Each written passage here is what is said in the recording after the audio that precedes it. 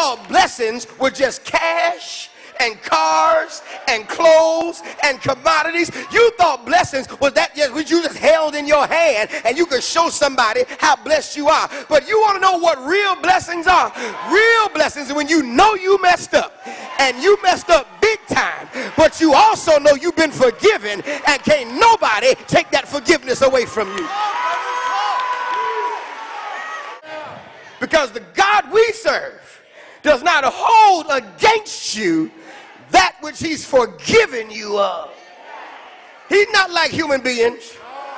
Human beings will remember stuff till the grave. I may forgive you, but I ain't gonna forget. Well, that ain't God. God says, I'll remember it no more. And is there anybody in here who's grateful that God has forgotten your past? The Bible says, if any man a new creature. All things are passed away. Behold, all things become new.